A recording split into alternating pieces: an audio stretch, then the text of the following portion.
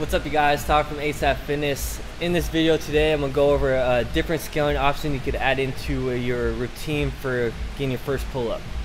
Uh, ring rows and banded pull-ups are pretty common to use for a scaling option, but it's also pretty common to get stuck and plateau in those uh, the scaling options. Uh, it's hard to transition from a banded pull-up to a non-banded pull-up, and it's also hard to transition from a ring row to uh, a pull up just for the fact that it's more horizontal of a pull rather than a vertical pull.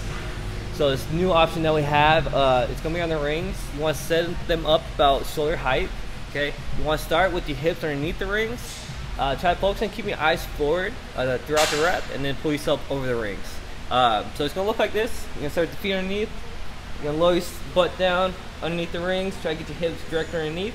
Then from here, you're gonna pull yourself over, keep your eyes forward, and then back down. Okay, so uh, to make it harder, you get your feet more forward or up onto a box and do the same thing. Uh, try to keep your hips underneath uh, for the start and then pull yourself over the rings. Okay. I also like this scaling option a lot for someone that uh, maybe could hit one or two strict pull-ups uh, and maybe we have more prescribed for a workout uh, because it's you can make it as hard as you want or as easy as you want. Uh, plus, it, it's also really good for someone that maybe tweaked their shoulder uh, and it hurts or aggravates it to hang on the pull-up bar.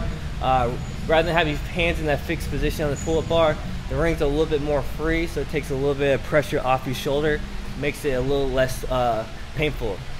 Also, it's really good for accessory work for the fact that you could do holds at the top or at the bottom for dead hangs, um, or even negatives to kind of work on uh, uh, just adding something new to your uh, routine to get that first strict pull up. Uh, so a lot of different variations to this uh, this scaling option, which I like. It's a little bit more vertical, less horizontal than a ring row. Uh, plus, it transitions to a strict pull up a little bit better. So if you want, give it a shot. Uh, share with a friend. Comment below if you have any questions. Uh, thank you for watching.